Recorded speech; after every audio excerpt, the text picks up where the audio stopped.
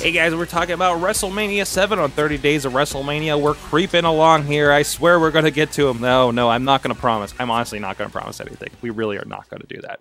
Uh, WrestleMania 7, this was the big one. I talked about a little bit if you looked at my road to our uh, 30 Days of WrestleMania for WrestleMania 6. They talked about the uh, Los Angeles Coliseum and how that did not happen. We ended up in uh, in another uh, location adjacent to it uh, with a much smaller capacity, uh, citing, of course, uh, security issues, granted the storyline and ongoing war. Actually, it was a pretty quick war, if I recall. I was around for them. Desert Storm trading cards, that was a thing. Anyways, well, this you know, of course, we had Sergeant Slaughter, the turncoat, going for Iraq, and uh, Hulk Hogan come back as the American hero.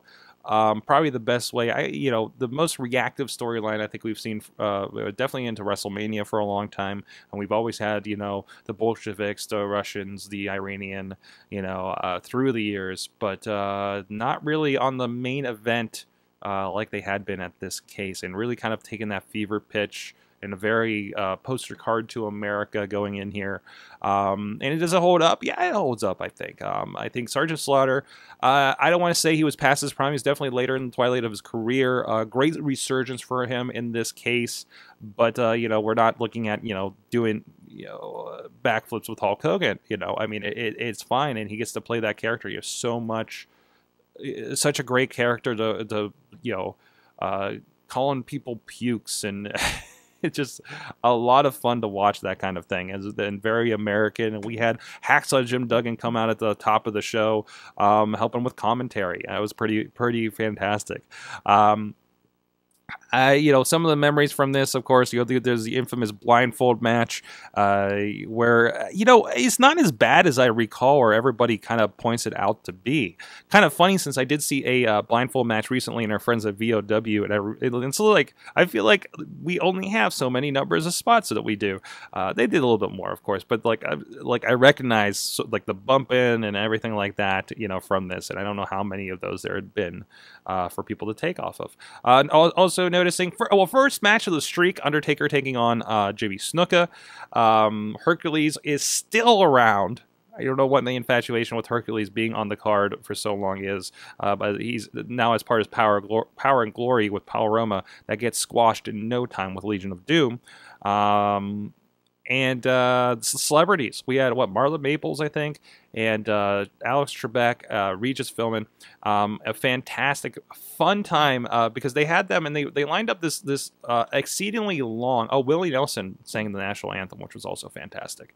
Um, but we had this exceedingly long interview segment with everybody that ended up uh, you know, just putting these guys in interviews, like the worst possible interviews, like Alex Trebek uh, with uh, Jake Snake uh, and everything. It was uh, it was pretty fantastic, and that's how you use celebrities in an entertaining spot. They're part of it. And and I ask you this: uh, in in the front of the uh, Macho King and Queen Sherri, is that Shane Douglas carrying that that podium there?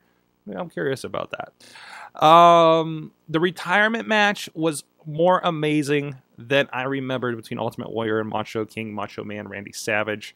Um, uh, the instant face turn, of course, when he loses, Elizabeth comes out. Uh, the, I forgot this is when Virgil was liberated. Uh, we had these uh, random Japanese guys taking on the new Demolition with Crush. Uh, Mr. Perfect in, in, in, fine form against the Big Boss Man. Uh, undercard I, you know, again, it's the same color, colorful characters that I, have been really enjoying going through this over the last couple of WrestleManias, and this is really kind of the height of it. Um, but this is the first that I felt like a lot of the matches were very, very, very, very underwhelming. Like there was a lot of Tito Santana got squashed in no time by the Mountie.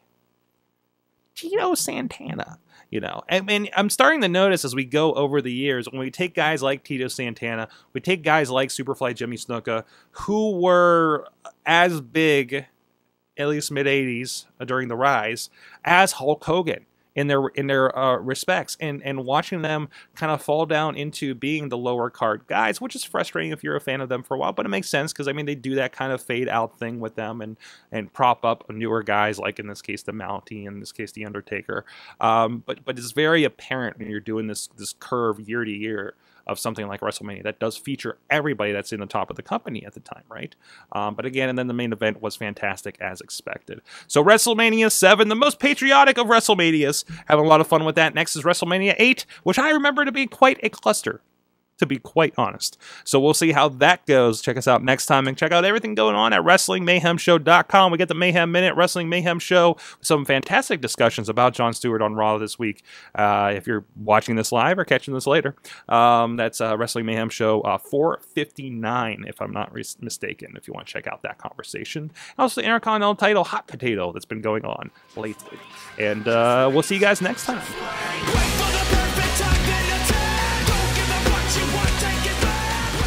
This show is a member of the Sorgatron Media Podcast Network. Find out more at sorgatronmedia.com.